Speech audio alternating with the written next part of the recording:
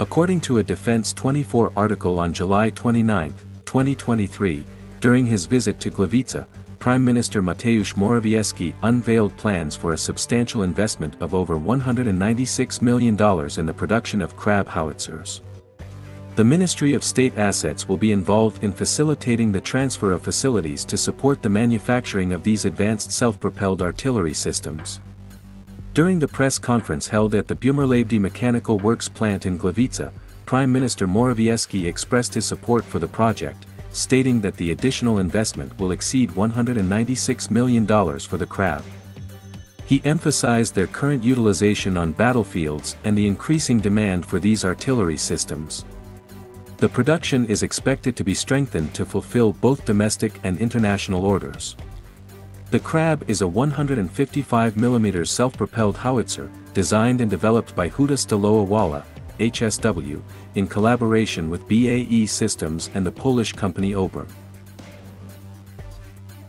Mounted on a tracked chassis with the turret of the British AS-90 Braveheart 155mm self-propelled gun, the Krab has a crew of five, with the driver located at the front left side of the hull and four crew members in the turret. The artillery system is equipped with a 155mm 52 caliber gun manufactured by BAE Systems, enabling it to fire all standard 155mm NATO projectiles with a range from 4.7 to 40 kilometers.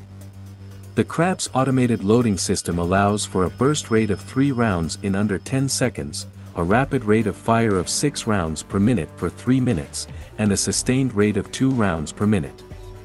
The vehicle can carry up to 40 shells and 48 charges, with 29 rounds in the turret and 11 in the chassis. The investment comes in response to the growing demand for Krab howitzers. Recent orders for two Regina fire modules with 48 howitzers from the military, along with an additional 54 Krabs ordered by Ukraine, have brought the total number of contracted howitzers to 224, including the 122 previously ordered for the Polish armed forces. The Krab's deployment on the Ukrainian battlefield has garnered user feedback, highlighting its performance and reliability.